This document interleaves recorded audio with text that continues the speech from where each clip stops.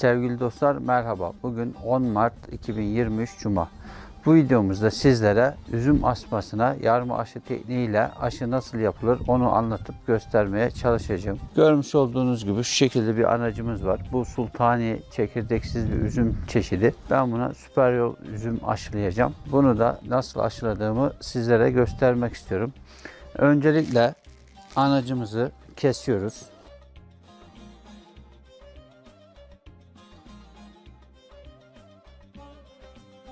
Anacımızı kestik, hazırladık. Şimdi e, yarma işlemine geçiyoruz. Şöyle elimde bir bıçak var. Bıçak yardımıyla anacımızı yarıyoruz arkadaşlar. Şu şekilde tam anacımızın ortasına bıçağımızı koyup keserle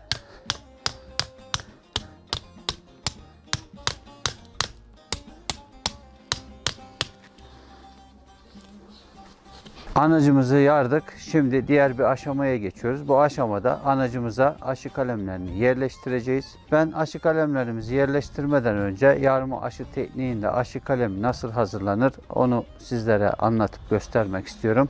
Görmüş olduğunuz gibi elimde şöyle bir aşı kalemi var. Ben bu aşı kalemini zaman kaybı olmasın diye daha önceden hazırlamıştım. Şu uç kısmından yaklaşık 5-6 santim yukarıdan şu şekilde yontuyoruz. Daha sonra tam zıt tarafına aynı şekilde şu şekilde yontuyoruz. Yontma işlemini yaparken şöyle kalından inceyi doğru yapıyoruz arkadaşlar. Bu kısmında şu şekilde kabuk bırakıyoruz. Bu kısmında kabuk kalmıyor zaten. Bu şekilde aşı kalemimizi hazırlamış olduk. Aşı kalemimizi hazırladıktan sonra şu şekilde tornavida yardımıyla yarmış olduğumuz bölgeyi genişleterek aşı kalemimizi dikkatli bir şekilde yerleştiriyoruz. Arkadaşlar burada dikkat etmemiz gereken husus aşı kalemimizin kabuğuyla anacımızın kabuğunu birbirine temas ettiriyoruz. Eğer bu teması sağlayamazsak aşımız tutmaz. En önemli noktalardan birisi de budur. Tekrar ediyorum. Bu aşı kaleminin kabuğu ile anacımızın kabuğunu birbirine temas ettiriyoruz. Bu temas olmadığı sürece aşımız tutmaz. Şimdi ben diğer aşı kalemini yerleştiriyorum. Yine şu şekilde tornavida yardımıyla yardığımız bölgeyi genişletip aşı kalemini şu şekilde yerleştiriyoruz.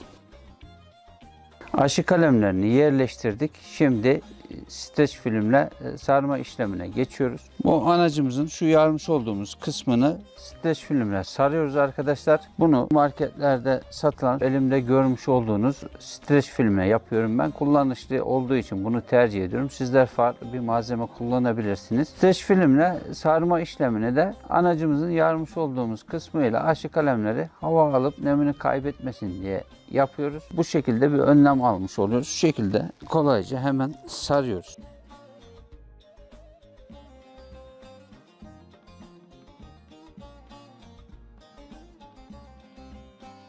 Streç filmle sarma işlemini yaptıktan sonra şimdi diğer bir aşamaya geçiyoruz. Ben bu aşamada yine şu kısmı bir poşet takıp içine toprakla dolduracağım. Yine bunu yapmamın sebebi aşı kalemleri hava alıp nemini kaybetmesin diye yapıyoruz.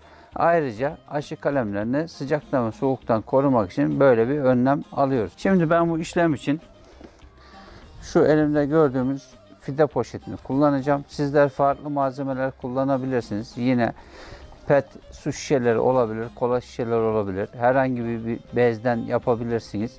Ben yine kullanışlı olduğu için şöyle bir fide poşeti var. Onu kullanacağım. Şöyle makasla alt kısmını kesiyorum.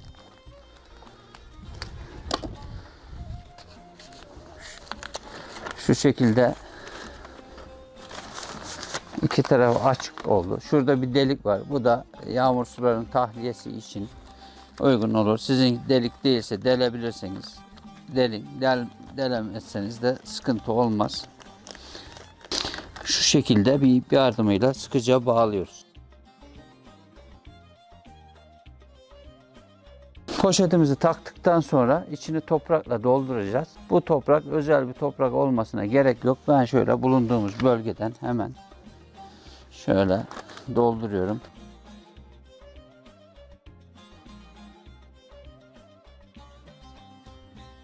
Poşetimizin içine toprakla doldurduk. Böylece aşı yapım işlemini tamamlamış olduk. Beni izlediğiniz için teşekkür ederim. Dilim döndüğünce yarma aşı tekniğiyle üzüm asması nasıl aşılanır onu sizlere anlatıp göstermeye çalıştım. Sizler videoyu izlemeye devam edin. Şimdi sonuçlarını görebilirsiniz.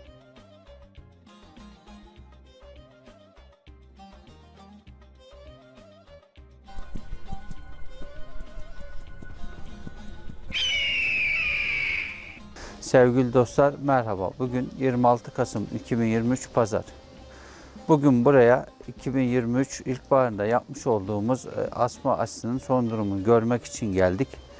E, Bugün hava biraz yağışlı ancak bu yağışa rağmen ben bu videoyu çekiyorum. Çünkü biraz daha geç kalırsam e, yapraklarını dökecek asma.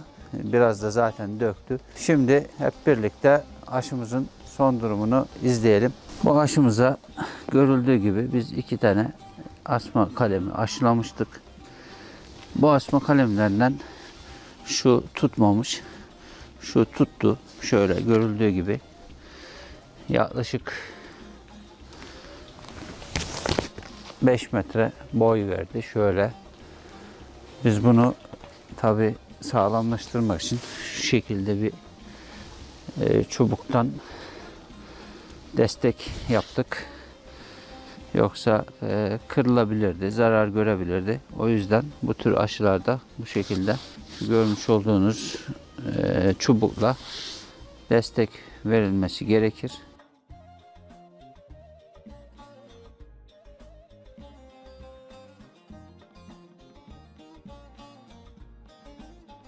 Aşımızın son durumu bu şekilde sevgili dostlar. Şöyle çubuğumuza sardı. Yaklaşık 5-6 metre uzadı. Gayet güzel bir şekilde gelişti.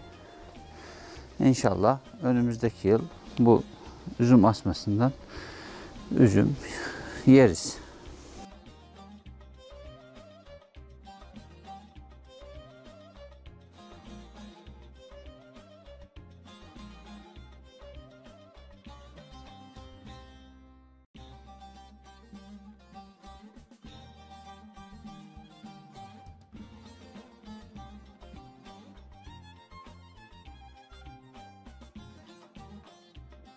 Sevgili dostlar, bu videomuzda sizlere yarma aşı tekniğiyle üzüm asması nasıl aşılanır onu anlatıp göstermeye çalıştım.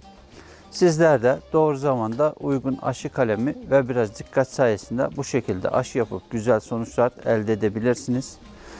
Beni izlediğiniz için teşekkür ederim. Bana destek olmak amacıyla kanalıma abone olmayı unutmayın. Şimdilik hoşçakalın.